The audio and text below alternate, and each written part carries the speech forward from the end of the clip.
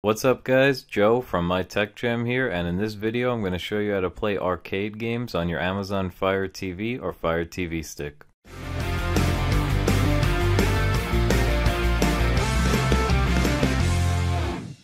Before we get started guys, remember if you like this video, hit the like button or let me know down in the comments below and remember to subscribe to my channel for more Amazon Fire TV tips and tutorials.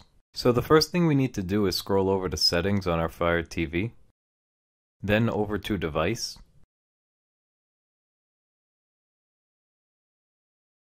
Then under Developer Options, turn Apps from Unknown Sources on. You'll get this pop-up, just click Turn On. Once you're done with that, the next thing we're going to do is install ES File Explorer. So exit back to the home screen of your Fire TV and then scroll over to the left into the search section and type in ES File Explorer. Once you have that typed in, scroll down and hover over the words ES File Explorer and click on them. Then click on the ES File Explorer app and then choose download. It may also say get if you've never installed the app before. Once it finishes installing, choose open. The first time you open up ES File Explorer, you'll get this pop-up. Just click the back button on your remote to close it out. The next thing you need to do is click on where it says new on the bottom of your screen. The easiest way to get over there is to come over to the left side and then come down and to the right. Once you click on that, leave the type as HTTP web and in the path type in https colon slash slash mytechjam.com slash mame.apk.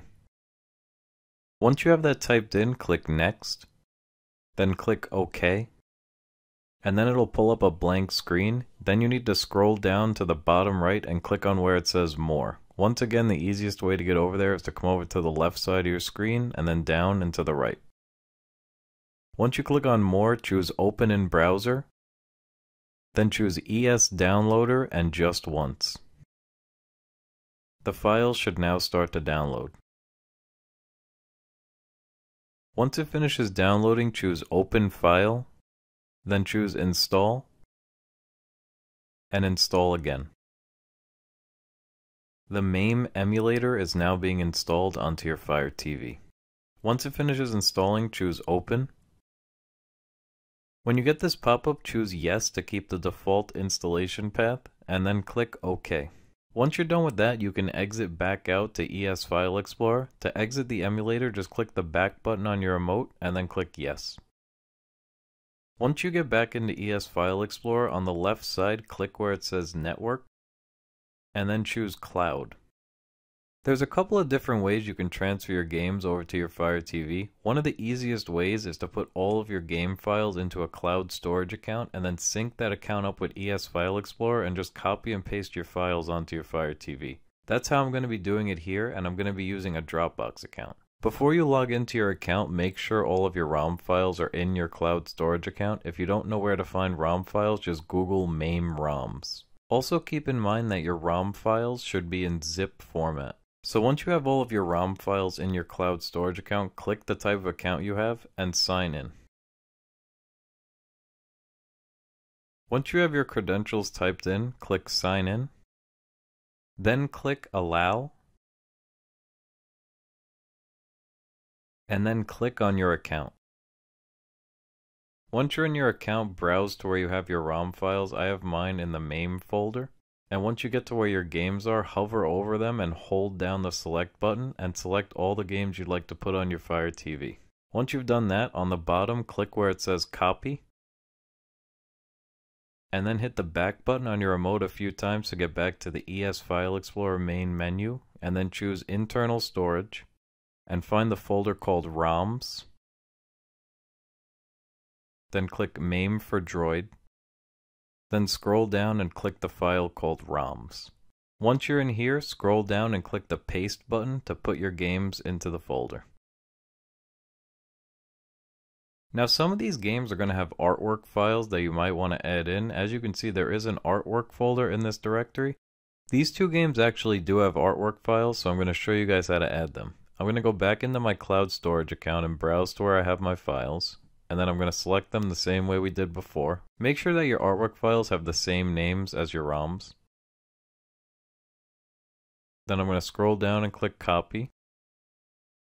then go back to internal storage.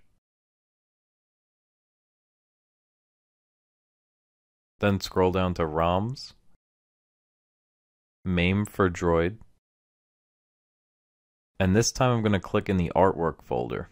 Once I'm in there, I'm going to scroll down and click paste. And that's all you guys would need to do. Once you do that, when you open your game in the emulator, the artwork files will show up. So once you have all your games in the correct folders, you can exit out of ES File Explorer and go back to the Fire TV main menu.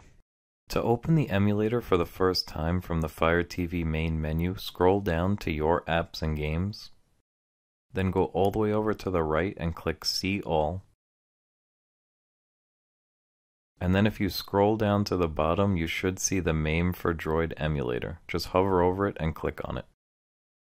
Once it opens up, you should now see your games displayed in the menu, but before we play them, we need to change a couple of settings, so click the menu button on your remote, the one with the three horizontal lines, then choose Settings, Input, Define Keys, Player 1, and then from in here you can set your controls. The two main controls we're concerned with is coin and start. These two buttons will allow you to insert coins into your emulated arcade machine and then start the game. Also, if you're using the regular Fire TV remote, you're going to want to map the X button and the B button, because the X button is going to be your select button in the emulator menu to open a game, and the B button is usually the fire button in a lot of games. Once you're done with that, exit back out to the settings menu and then scroll down and uncheck the boxes for touch controller visible. There should be two boxes to uncheck and this will remove the on-screen controls. And once you're done with that, you're ready to start playing games. So you can exit back out to the main menu of the emulator and click on whatever game you'd like to play. I will open both games I have here just to demonstrate that they work. When you open a game, you'll get a pop-up like this. Just click the left and right buttons on your remote to bypass it.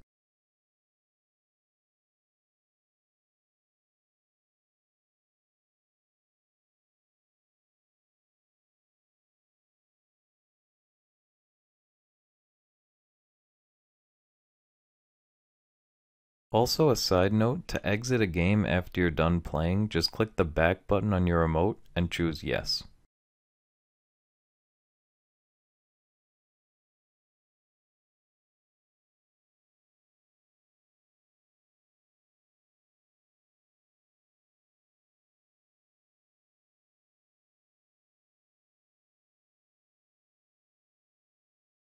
As always, if you guys like this video, hit the like button or let me know down in the comments below. If you have any questions, let me know in the comments below and I'll try to help you out as much as I can. And remember to subscribe to my channel for more content.